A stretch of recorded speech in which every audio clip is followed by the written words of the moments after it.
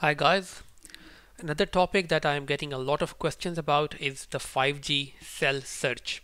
Now, uh, if you remember, I have already discussed about the 5G network entry for non-standalone.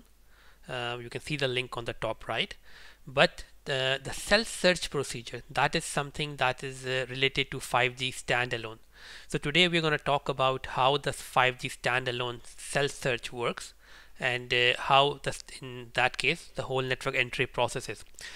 So first of all, if you remember, um, the first thing that a UE needs to search for is the SSB, the synchronization signal block. Now that is the block which uh, which is required by the UE to synchronize in downlink. Now in case of NSA, the LTE anchor tells the UE where the SSB is and the UE just goes there and finds the SSB. But in case of standalone, there is no LTE anchor. So the UE, it has to find the SSB by itself. Now what it does, how to how it searches for the SSB and how it scans the whole channel, that's uh, let's understand that first. So in case of 5G standalone, we have certain uh, positions which are given by the 3GPP 38104 specification and they are called GSCN which is the global synchronization channel raster uh, so the SSB in case of 5G standalone can only be located on these uh, these frequency carriers or on this raster so if for instance we have the whole channel let's say this is our frequency band and this is the time domain. So the SSB in case of standalone it cannot be here or here or here. So you can't really place it anywhere you like. In case of NSA you can put it anywhere you want because the LT anchor will tell the UE where the SSB is. But in case of standalone the 3GPP mandates that the SSB should only be on these uh, predefined locations which are given by the GSCN and uh, those are uh, much farther apart. Now why we have this so that the UE does not have to scan the whole channel. The UE only scans these locations and finds the SSB.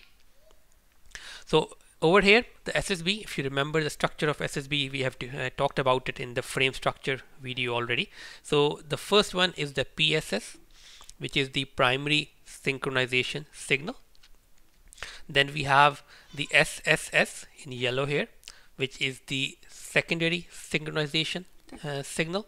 And then the green one which uh, sort of uh, encapsulates the SSS is the PBCH which also which is also uh, what we call the MIB, the master information block. Now, uh, for the UE to synchronize, it first uh, goes and reads the PSS, which, as, as the name suggests, is a primary synchronization signal. So uh, the PSS will give the UE frequency level synchronization, and then we have the SSS so with PSS and SSS together, uh, the UE is synchronized in both uh, frequency and time domain. And also these two channels provides the UE the information about the PCI. So the PCI of the cell will be found by the UE by looking at these two channels. Now after this, uh, once this is done, uh, then the UE is supposed to read uh, the PBCH which is the master information block and the MIB this master information block also called MIB uh, it carries the information which is given by again by 3GPP 38331 it carries the subframe number and subcarrier offset subcarrier um, spacing.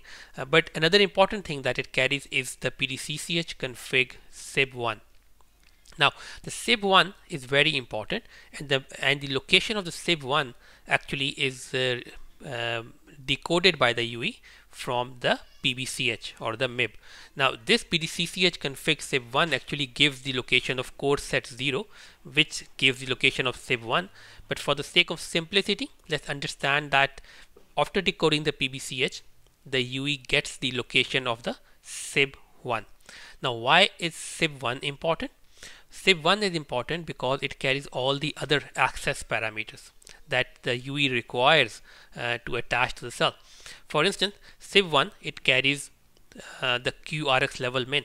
So, for a, so if the UE decodes SIB1 and it finds out that the RX level min is let's say minus 110, so it will know whether this cell is a valid uh, cell based on the cell selection procedure. Now, uh, where does the UE gets the RSRP from? As I, defined, as I explained before in the RSRP session as well, the RSRP comes from this yellow channel, which is the SSS. So once the UE has decoded SIB1, it gets the QRX level min, and then it checks it against the RSRP for this cell to verify that the RSRP is above the QRX level min. If it is above the QRX level min, that means this cell passes the cell selection criteria and the UE can try to attach on this cell. If the RSRP is less than the QRX level min, the UE will not try to attach to this cell, right? It will look for another candidate. Now another thing SIB1 has, SIB1 also gives the PRACH configuration. Now we know we know that uh, in case of NSA, the RACH configuration is given to the UE by the LTE anchor. But here, in case of standalone, there is no LTE anchor. So we need another mechanism to get all the RACH configuration so that the UE can initiate the RACH process. And once we get the SIB1 over here, so we get the RACH process. From the RACH process, we have the root sequence index. We use this and the zero correlation zone config, which gives the cyclic uh, shift. Using these two, the UE can generate RACH preamble. And again, this uh, I have another session on this uh, for RACH uh, configuration and how the RACH configuration is used uh, to initiate the random access and you can see the link over here on the top. So you can refer to that. So using this one uh, the UE then gets the RACH configuration and once the UE has the RACH configuration then the UE can initiate random access and after random access the UE can get RRC connection setup and the RAB setup. So this is the overall cell search process. We will have another video about the whole call flow for 5G standalone from random access to RRC to the RAB setup. But the cell search is simply over here. UE looks for the GSCN raster to find the SSB once the UE gets the SSB UE looks into PBCH to find the SIB1. once the UE gets the SIB1, it looks at QRX level min to verify that the cell is above the RSRP threshold given by QRX level min. And if it is above the threshold then it uh, again reads the SIB1 to find the RACH configuration and with the RACH configuration it can initiate random access and then set up the RRC and the radio bearers and, and the RAB and the PDU session. So that is the um, short summary, a quick summary about the 5G standalone cell search and network entry steps. I hope you like it. Uh, do share with others. Stay tuned for the next one. Thank you so much. Bye bye.